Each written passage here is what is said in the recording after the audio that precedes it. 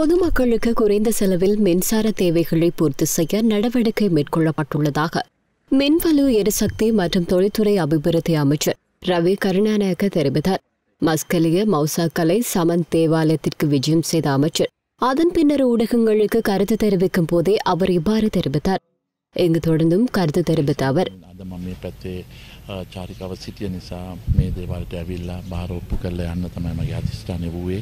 ඔය ප්‍රථම நாட்டில் மின்சார தேவை மக்களின் அடிப்படை தேவையாக இருப்பதால் இதன் மூலமாக ஏற்பட்டிருக்கும் அனைத்து பிரச்சனைகளையும் நான் ஆராய்ந்துள்ளேன் குறைந்த செலவில் பொதுமக்களுக்கு மின்சார தேவைகளை பூர்த்தி செய்து கொள்ள நடவடிக்கைகளை மின்சார சபை ஊழியர்கள் மற்றும் அதிகாரிகளின் ஊடாக முன்னெடுக்க நடவடிக்கைகளை எடுக்க உள்ளேன் மஸ்கெலியா லக்சபான நீர்மின் உற்பத்தி அபிவிருத்தியின் போது இந்த அபிவிருத்தி திட்டம் முறையாக நடைபெற வேண்டுமென சமன் தேவாலயத்தில் நேர்த்திக்கடன் வைக்கப்பட்டது. அந்த நேர்த்திக்கடனை இன்று நிறைவேற்ற இப்பகுதிக்கு விஜயத்தை மேற்கொண்டுள்ளேன்.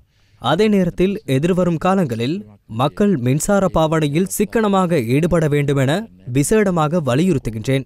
இங்கிலாந்தில் தேங்காய் ஒன்று மரத்திலிருந்து விழுந்தால் அது ஆளுங்கட்சியின் ஏற்பாடு என்று குறை கூறுகின்றார்கள். ஆனால் எதிர்க்கட்சியை விட ஆளுங்கட்சியினூடாகவே மக்கள் பிரச்சனைகள் தீர்க்கப்பட வேண்டுமென நாம் முயல்கின்றோம். இதேவேளை எதிர்வரும் தேர்தலில் போட்டியிடுவதாக கூறப்படும் முன்னாள் பாதுகாப்பு செயலாளர் கோட்டாபாய ராஜபக்சவுக்கு அமெரிக்க நீதிமன்றத்தில் வழக்கு தாக்கல் செய்யப்பட்டுள்ளது. இது ஆளும் ஐக்கிய தேசிய கட்சியின் சதியா என ஊடகவியலாளர் எழுப்பிய கேள்விக்கு பதில் அளிக்க அவர் மறுப்பு தெரிவித்தார்.